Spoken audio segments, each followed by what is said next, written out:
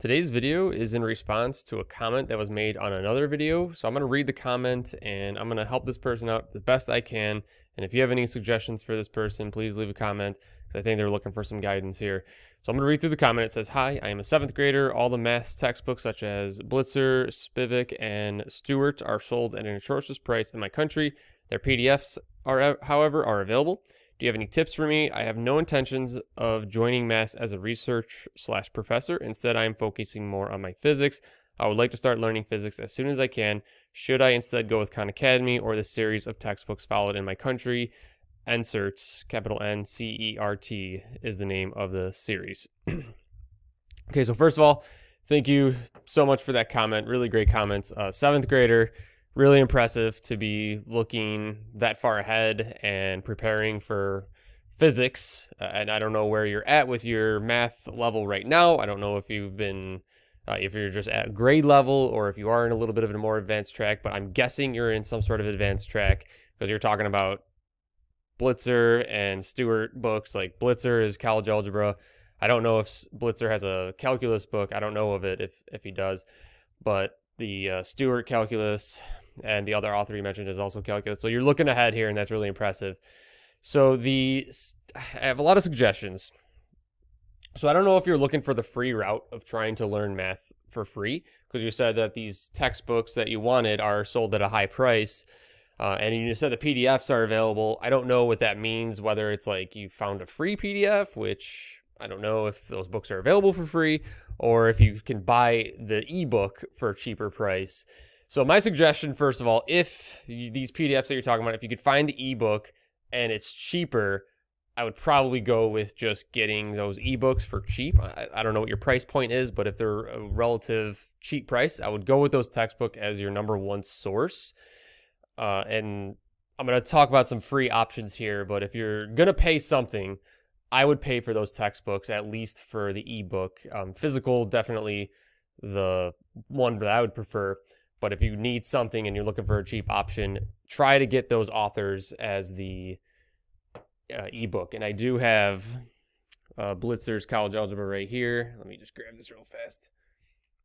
If you're at that level where you are ready for college algebra, because you might need some intermediate algebra if you're in seventh grade, so you might need to buy something like that. So here's Blitzer's College Algebra book. Really great book. I love Blitzer. I've talked about Blitzer before on the channel. Um, but if you are still needing before college algebra, you need a little bit of some algebra reinforcement. Should have got these books out. Uh, here's the intermediate algebra. This is by uh, Elaine Martin Gay, another amazing book. Definitely suggest that book. So uh, I'm not sure what level you're at, but let's pretend like you are at that point where you can find those books for super cheap as an ebook and not really a physical book because I know the physical books are probably going to be more expensive. And I don't know what country you're in or where you're from where they're not really available. So I don't know. I don't know what your best option is on that side, but if you can get those ebooks. Now, some free options though. If you don't want to pay anything, I would go get uh, get on OpenStax. OpenStax. OpenStax is a great option I have a little bit of a love hate relationship with OpenStax as a teacher because there's not a lot of resources as a teacher to take advantage of. You have the book. That's all. You can buy the physical book. I have. I taught Calc one and Calc two with OpenStax, and I have them right here. Uh, so here's the volume one. This is Calc one OpenStax. So you can buy the physical, but they're perfect. They're 100% free online. Uh, you could download it on your phone like right now while you're watching this video. It takes two seconds. Just go to OpenStax.com. But you can get algebra, pre-algebra, algebra, elementary algebra, intermediate algebra, college algebra, stats, trig, calc 1, calc 2, calc 3.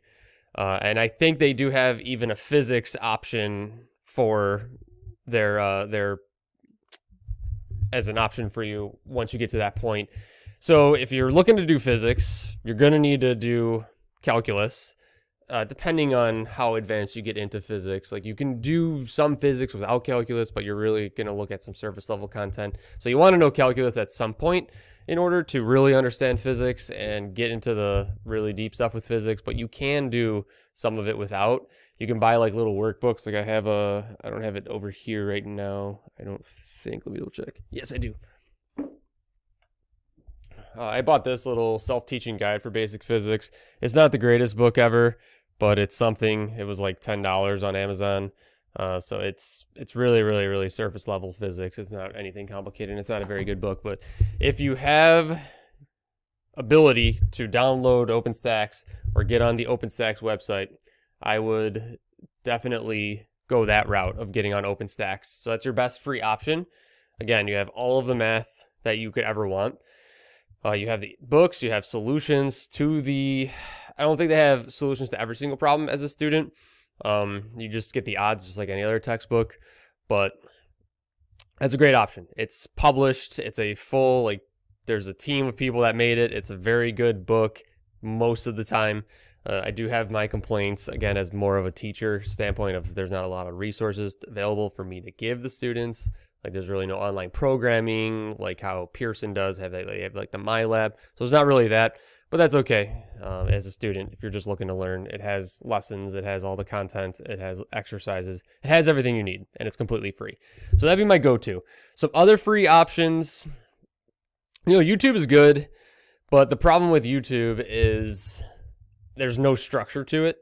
Uh, you could watch a thousand videos, you know, but like it, there's not really an order to it or making sure that like, all right, this content correlates to this. I got to understand this problem and then this problem.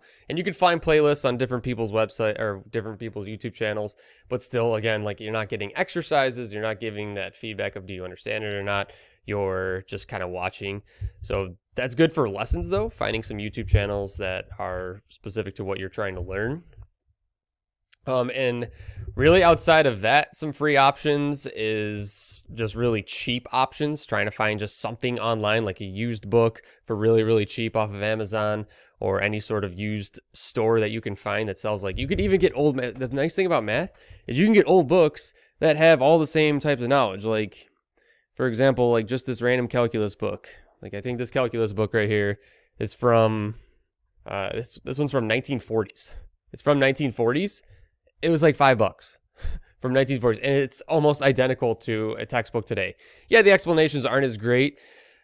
Uh, there's not a bunch of visuals or anything, but it's something. It's a calc book. Uh, people learned it in the 40s with this calc book, so people can learn it today with this calc book. Like you don't need all these crazy visuals and everything if you really want to learn.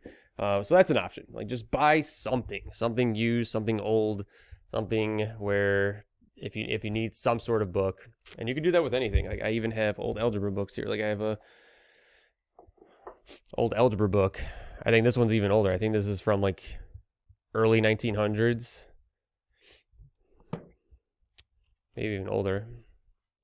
Let's see, what does it say? Uh, I can't find a date. 1905, yeah. So that's again, it has all the same knowledge that you would have in an algebra book. So OpenStax, if you're looking purely free, and then you mentioned Khan Academy. So I was saving this for the end because Khan Academy again is free. So that's another free option. I personally have not gone through any sort of Khan Academy lessons or anything like that. I've stumbled on Khan Academy looking for an explanation to specific things, like when preparing lessons or when I was learning math topics, like just, oh, here's an example of this topic, like disk method or shell method or just any sort of derivative that I'm trying to find, you know, like anything that I was stuck on at the time when I was learning calculus or just trying to prepare something.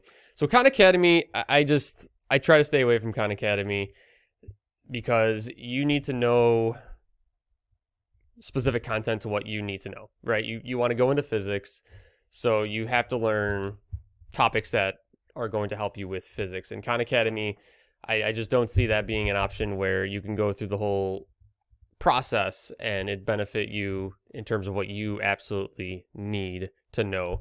Um, so I would just go through textbooks is my go-to route. Just go through textbooks, go through OpenStax, buy a really really cheap book somewhere, and just learn that way. And I don't know your starting point. I kind of wish I did because you said you're in seventh grade. I don't know if that means that you're at seventh grade level or if you're a little bit higher where you already know algebra. So if you do need to learn algebra, you got to know some intermediate algebra which again, uh, the Martin Alingay, you could probably find an old copy pretty, pretty cheap, or you can use OpenStax, and then you got to learn college algebra, you got to learn trig, uh, and then you got to get into calculus. But last thing I'll say as I close this video off, Um, I would just jump into it. Just find a starting point somewhere and just jump into it. Camera's kind of blurry. If you want to learn physics, get some sort of physics book. Start looking through it. See what do you know, what do you not know? Like what what topics are they talking about? What math formulas are they pulling from? What math knowledge do you need? And just start looking through it. And you don't have to master it right there, but just start flipping through it. Just start looking like, okay, like they talk about this. This is interesting. Start try to learn something from there. And then once you hit that point where you're like, oh, like I don't really understand this, and then try to figure out like what weaknesses am I having, especially if you have some sort of math background already. Um, but if you're just starting at the ground level right now, then you might want to work through a little bit of some math, especially college algebra and then get into physics. Like I wouldn't go through Calc 1, Calc 2, Calc 3, and then jump into physics.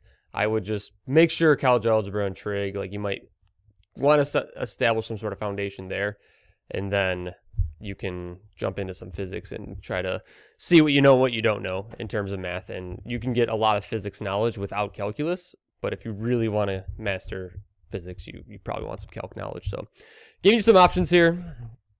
OpenStax, old books, cheap books, and uh, just kind of being resourceful. So, hope this helps you out. Good luck. Keep me posted. I'm really curious to see uh, what path you go down and how this works out. And uh, I don't know anything about that program that you mentioned, um, NCERTS.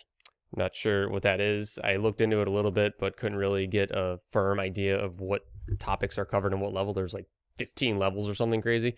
There's a lot of textbooks, so I didn't really get to look through all of them, but uh, that could be an option if, if you know what uh, is going to be taught in those types of courses. So, hope this helps. Thanks again for the comment.